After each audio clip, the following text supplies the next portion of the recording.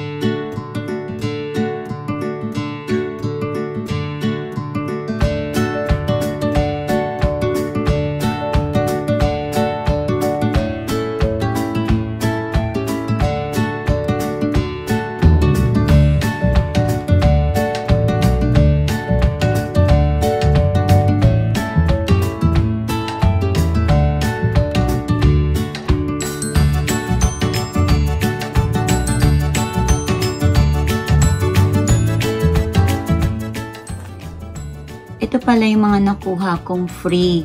Meron silang parang pagkakain ka doon.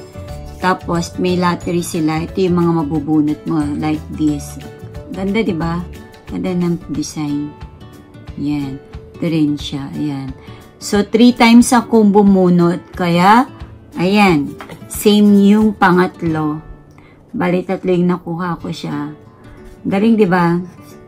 Sarap kumain pag may mga ganitong free coaster.